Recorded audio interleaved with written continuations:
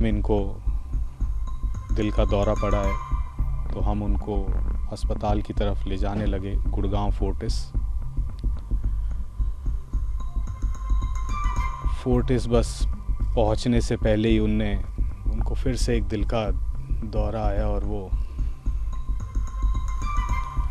नौ पंद्रह अस्पताल ने समय बताया है कि नौ पंद्रह तक उनका Behandlung.